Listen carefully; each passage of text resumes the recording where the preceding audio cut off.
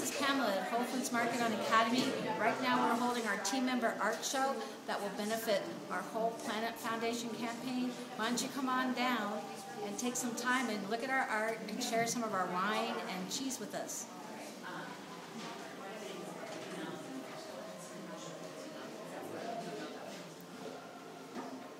So